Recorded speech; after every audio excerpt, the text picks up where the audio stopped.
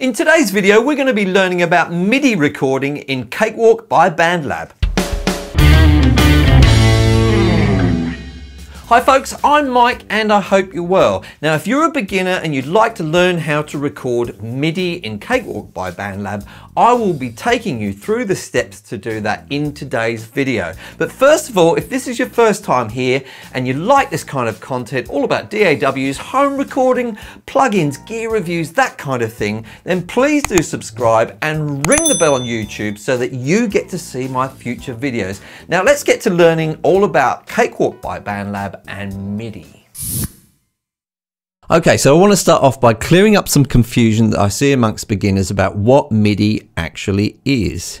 Now, in Cakewalk and other DAWs, there are basically two types of things that you can record. That is audio and MIDI information. Now, there's some terminology which gets used in Cakewalk which confuses us a little bit, but I'll explain that later. Let's start off with audio. When you record audio tracks, you're recording actual sound. For example, you may be recording a guitar which is recorded with a microphone or a voice which is recorded with a microphone. And you can see that here in the session that I've got open. You can see the waveform here, and that is the uh, guitar. In fact, I'll just play it so we can hear it. And that was recorded with a microphone. Now, if we go down a little bit further here, you'll see another type of track down here, and this is what I call a MIDI track. It's actually called an instrument track in Cakewalk, but essentially it's MIDI information which is being recorded. Now, if I click on that and it expands, this is some bass guitar MIDI. Now, What's important here is no actual sound is being recorded. Let me say that again. There is no sound recorded with a MIDI or instrument track. In fact, what's happening is, is we are recording a series of events or instructions, if you like. Instructions like start playing the middle C note now, stop playing it now, play it this loud, etc. Then when you hit play on your DAW, Cakewalk in this case, it actually plays the instrument back again. Now, that instrument may be a virtual instrument, which is in your DAW, and that's what we're going to be focusing on today. Or it may be an external instrument, such as a synthesizer or a drum machine, which is plugged into your computer. That's for another tutorial. We're going to be focusing on what everybody has, and that is the virtual instruments which come with Cakewalk. Okay, so let's go about adding a MIDI track to our Cakewalk project. Now I'm starting off on the Cakewalk start screen and I've already created some projects before so they show here and with the recent projects tab selected. But I'm actually going to click on the new project tab over here and then I'm going to go over and click on the empty project template. So I'll click on that and that creates an empty project. Now, there are a couple of different ways of adding MIDI or instrument tracks to Cakewalk. I'm just going to do one way today so I don't confuse you, but there are some different ways to do it so you're aware. I'm going to look over here on the right hand side and you'll see some different tabs here, media, plugins and notes. So we're going to select the plugins tab and then we're going to go over to where this little sort of keyboard icon is here and we're going to click on that and that shows the uh, virtual instrument plugins which are installed on our system. Now, the list may look a bit different for you, so I encourage you to go up to this little arrow here and select uh, let's have a look. Sort by manufacturer. Now, if we click on sort by manufacturer, your, your display should look similar to this. There may be some missing.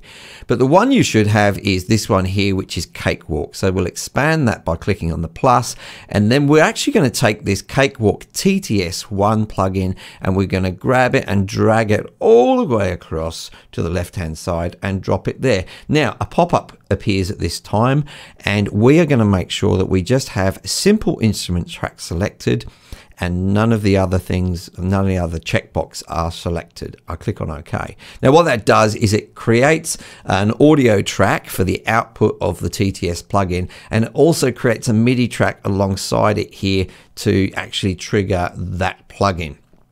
So I'm going to just drag this down a little bit so that we can see all of the options there.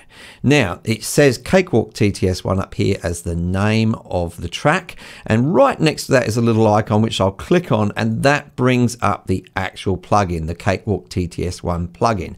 Now this plugin can actually load up to 16 instruments at one time but by default it loads up the piano instrument on all but one of these one of them actually just has a drum instrument on there, but all of them have the piano uh, instrument loaded up, and we're just going to leave it like that for now so that we can just have a nice piano sound. So I'll close that there.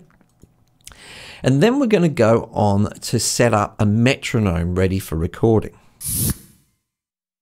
Now, in terms of setting up the metronome, there's a couple of things we want to do. We want to make sure we can hear it when we're recording, and we also want to make sure that the tempo of the track is set correctly. Now, to set the tempo, there's one easy way to do it. If you happen to know, for example, that the track is 90 beats per minute, you can just click up here where the tempo is, and I'll click on that, and I can just type in 90 and set it. But you may not be sure what the tempo is. So what I would do in this case is make sure that the playhead here is set right back to the beginning of the track. So I've just dragged it there to the beginning of the track. So everything's on zero. And I'm going to insert a new tempo there. So I do that by going up to the project menu. So I click on project and then going down to insert tempo change. I'll click on that and this pop-up appears. Now, so if I'm not sure what tempo it's going to be, what I can do is click on this button here for probably, I don't know, at least a few seconds, uh, a little bit more than that to set a tempo. So I'm going to do that now.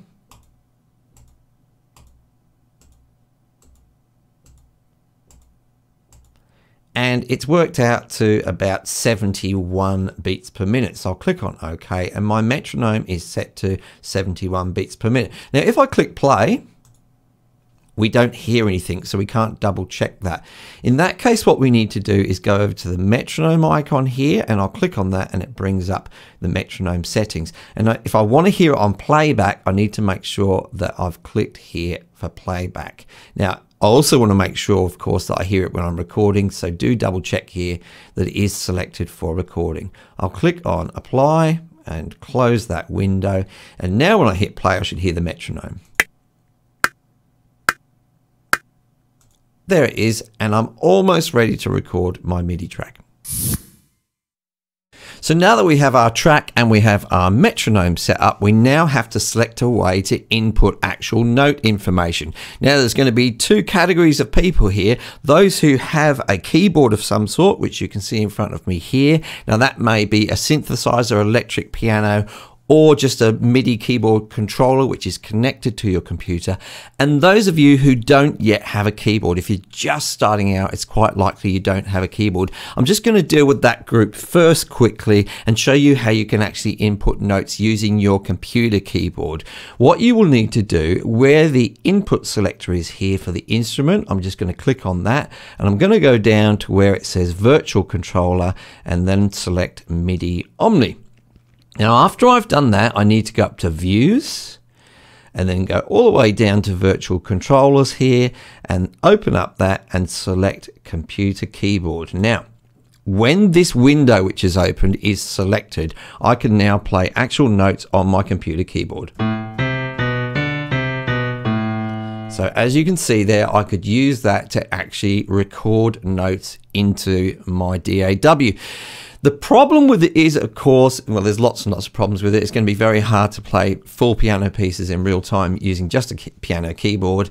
Um, and it doesn't record things like velocity and it doesn't do a great job of um, doing things like pitch bend and modulation. So it is only really useful if you're really stuck and you don't have a keyboard and you just want to get on and make some of your first music. But I do highly recommend getting an actual physical keyboard. They're not that expensive these days. So I'm going to put some links down in the description to a couple of keyboards that I've used in the past, which I'd recommend, which aren't all that expensive and they are by far much better than using your actual computer keyboard. Now, if you do already have a keyboard, you'll have it connected up to your computer either with MIDI cables going into your audio interface or perhaps a USB cable connected to your computer. It's going to be different for each person. Now, you should have set this up already in your preferences, and I did cover this in my sort of Cakewalk Basics video about how to set up MIDI uh, devices, and you should have some selected here in this menu. If you don't, then I recommend go ahead and watch that uh, setup video which I created. Now, what you'll need to do, instead of selecting for your input the virtual controller, you'll actually need to select whatever hardware you have connected. Now, my uh, controller is actually connected via MIDI cables to my UA25 interface. So I'm going to select that and I'm going to select MIDI Omni so that it gets um, information from any MIDI channel. That's for another tutorial indeed. Now we are ready to record this piano and I can now play it on my piano keyboard.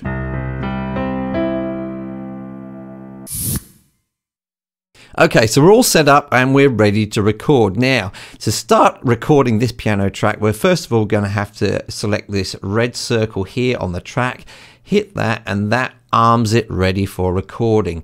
So you can see this big red uh, area over here also indicates that. Now all we have to do to record is actually hit on the record button up here. I'm going to let it play for about a bar or so just to give myself a little breathing space. Let's go ahead and do that.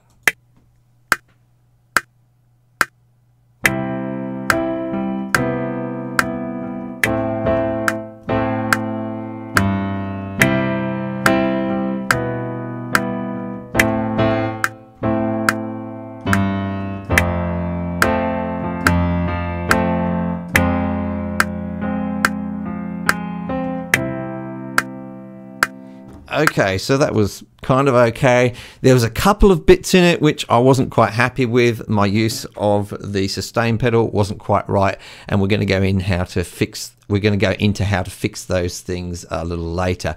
So let's have a listen to that recording. I'm just going to move the play head up to where it starts, and I'm going to hit the play button.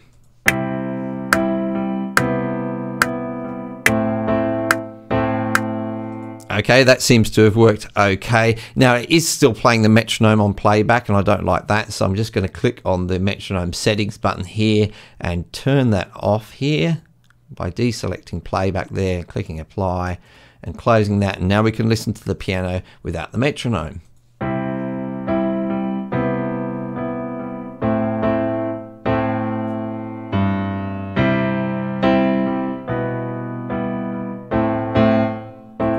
That all works fine. Now I just want to go into something about this record button up here because we have several different options. If we wanted to record over this and sort of wipe it out as we were going, then we would just leave this on the setting it is now. But if we hold left click on that button, we can see some different options. And I just want to look at the sound on sound option. We'll click that. And what I'm going to do is uh, give myself some time again. I'm going to move the playhead back to the beginning. I'm going to show you how you can record over with a little piano part at the top end of the piano. Let's have a go at that.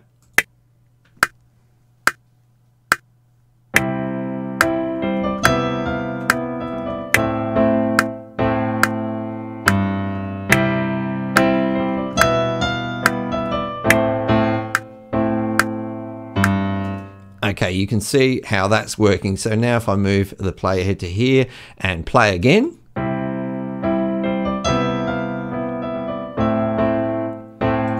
Now, as you can see in Cakewalk here, the uh, second recording is placed on top of the first one. I'm just going to select that and then I'm going to hit shift on my keyboard and select the other one. And now I'm going to right click on all of that and click on bounce to clips. And now we can see both parts together there. So both of those piano parts are showing on the display there. Now I'm going to show you how to go into that and actually edit it. Okay, so now that we've recorded our piano, I'm going to go in and actually edit the MIDI. So I will disarm the track for recording. So I'll select that there. I'm going to go ahead and select this uh, section here, which is the MIDI notes. I'm actually going to double click on that at the top And that opens up what is called the piano roll, which I am obscuring with my camera at the moment. So I'll move myself up the top there.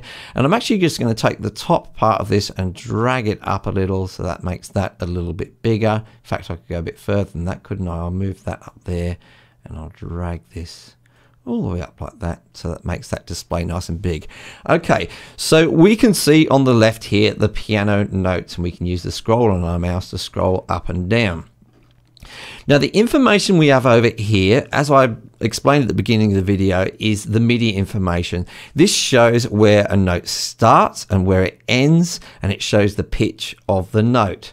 Now down here also you can see this is selected for velocity and we can see the velocity of the different notes and we can change them down here. Now I should point out in Cakewalk here, I actually have the Smart tool selected. So right at the top on the left hand side, I have this star icon selected.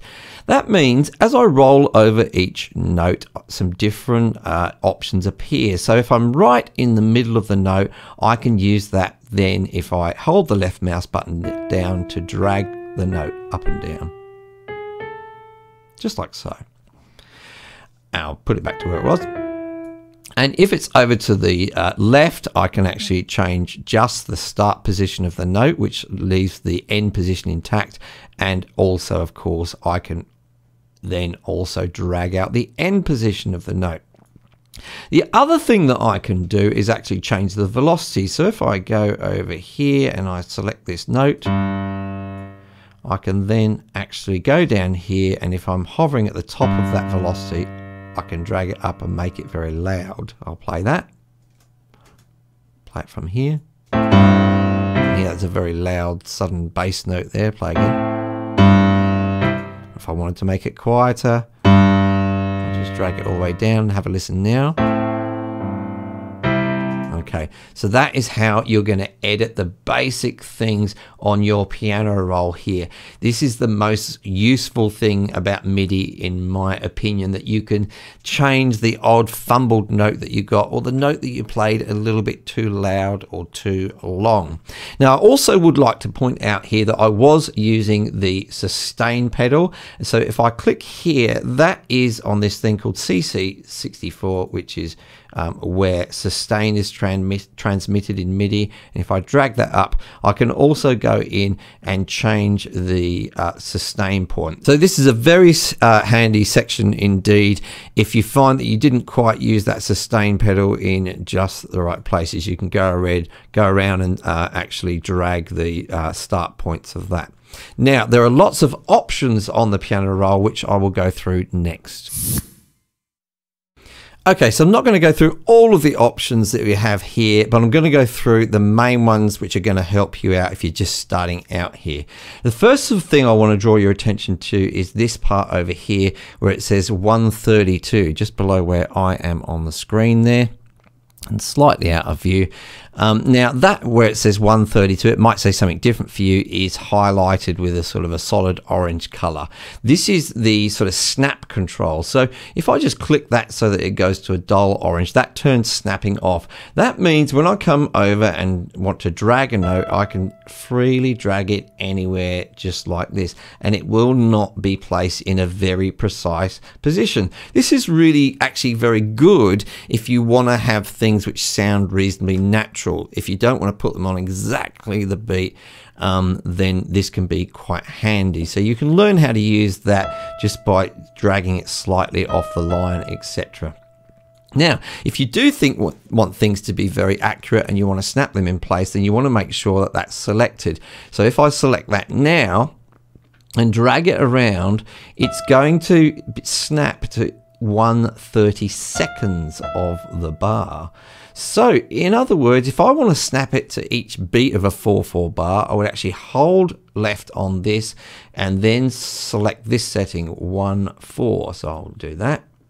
And now it will snap to beats. Now, you'll notice here that I can actually drag it freely in between, but it will just snap when it gets close to the actual beats. So I can just go a little bit in between, but as I get closer, it snaps to that beat. So that's very handy indeed for if you're doing a mixture of very accurate notes and then you want to slightly offset some things. You don't have to keep going up here and changing that. So that is one of the main settings in this interface and that is the snap setting. So I'm going to set it to say something more like uh, eighths and then I can drag that around. Now, the other thing that you can actually do is add new notes, and you can do this a couple of different ways. You can go in and just use this tool and drag out a note like so, and it will snap its beginning position according to the snap setting, and it will also snap the end position as well according to that. So I can actually put in a note just like that. The other thing you can do is just select, say, a beat and double click and that has added a note in there. Now it's added the note according to the settings I've got up here for the note length. So that's the last thing that I want to show you here. You select the note length, the default note length for adding notes up here. So if I just want to add in a crotchet, I'll just select crotchets there and double click on a beat and it's added that in. In actual fact, it's added a dotted crotchet because I had uh, dotted selected. So I'll deselect that, go again and double click. Okay, so that is the sort of basic settings or the basic options for editing MIDI. Now, the last thing I want to touch upon is called quantizing. Now, quantizing is a process where you adjust the start and maybe the end times of the notes according to specific timings within each bar. Meaning, imagine you could place a grid over the bar and divide it into four. What quantizing will then do is look at the start time of the note and move it exactly to one of those four lines on a grid. You may set it to 8 or 16, etc., etc. It depends on the actual music. We'll go into this a little bit further in a moment. At the moment, you can see that in actual fact, if I zoom in to the beginning of these notes here, which I played on the keyboard, you can see, for example, these three notes here are just a little bit before the beat. Some of these later are on the beat and maybe some of them are a little bit after. With quantizing, we are going to put them exactly in time as if I was this amazing piano player who could play uh, perfectly in time. I am, of course. So what we do is we can select our track up here and I'll select it to highlight it and that selects all of the notes in the track and I hit Q on the keyboard and that brings up the quantizing interface. Now at the moment, the resolution is set to 1 16th. I happen to know that's just right. That is a way of saying if you take the whole bar and you divided it into 16, that's the resolution that the quantizer is going to use to determine where to move the beginning or the end of the note to. Now, talking about the beginning and the ending. Down here with change, we can say, see it's set to uh, change start times. You also have the ability to change the end times or the note duration. I normally don't have that set. Normally, I'm just interested in changing the start times. Now, I've set it to 1 16th and I'm going to click on OK. And you see all of those notes just shuffled around there. So if I play it now,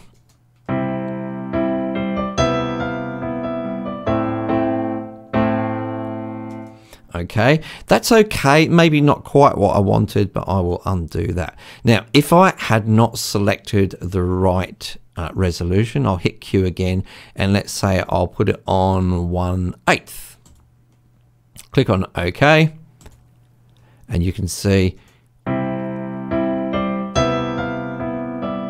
it's really messed things up there and that's because the resolution wasn't high enough. So what you can actually do if you're not sure is select a resolution.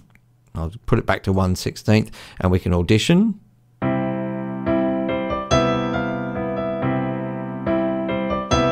And that will give you an idea if you've made the right selection. Now, the other thing that you can do is only quantize certain notes. So I actually selected the whole track up here in the track view. So if we go down here to the piano view and I right drag across this group of notes, That's a right drag. I'll use that to select them and I'll hit Q on the keyboard to bring up the quantize and I'll click on OK because I like the settings. It only actually changes the notes which I've selected. So please do remember you don't actually have to quantize the whole track. You can just do parts of it if you wish. So I really hope that helps get you started with your journey of recording MIDI in Cakewalk. If anything wasn't clear to you at all, then please do ask questions in the comments down below and I'll try my best to answer each and every one of them. Now, if you did like this video, help me out by hitting the like button. If you didn't like this video at all, then hit the dislike button twice. If you like this kind of content, then please do subscribe and ring the bell on YouTube so that you get notified about my future videos. Now, talking about my other videos, I think that you should have a go at one of these two showing on the screen just now with the lovely yellow background. And I'll see you in the next video.